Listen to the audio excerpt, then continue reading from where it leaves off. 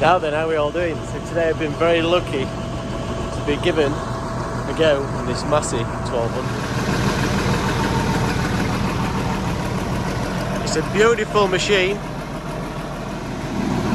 She's just as stunning on the inside as she's on the out. Pure 1970s nostalgia in here. The 1200 was produced from 1972 to 1979.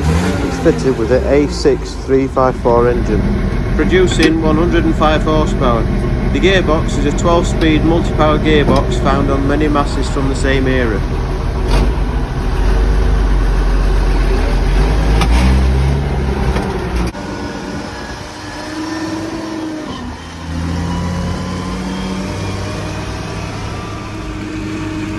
She really is quite nice to drive down the road. Once you get used to the articulated steering. I'm led to believe there was just over 2,200 produced, for in 1979 they introduced the 1250.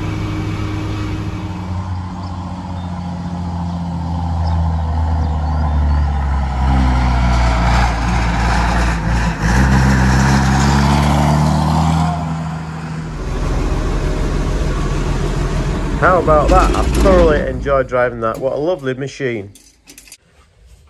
Right, if you like that video, hit the like button. If you like what I do on YouTube, hit the subscribe button. Thank you very much.